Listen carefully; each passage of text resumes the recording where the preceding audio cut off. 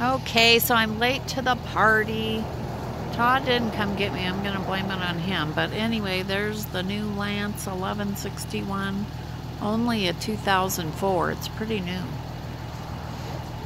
And they had to make an extension cord for the brake lights and the power to the camper. Looks like all that works.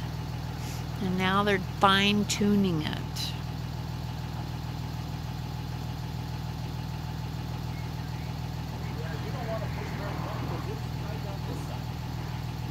And I think, yep, I think they, you know, they probably have like a quarter inch or something.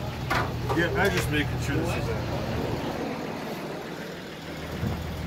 See, that thing is like, I don't know what that box is for, but makes it tight.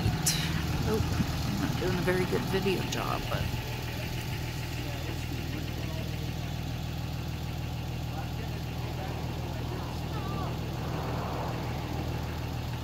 All right, that's another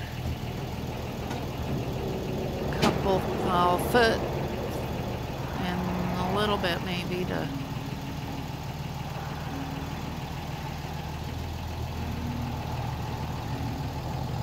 go and look at. Whoop. Everybody's yelling. That must mean it's done. Mean, man, that backlight is like on it. well, oh, an inch to spare. That's bad. Anyway.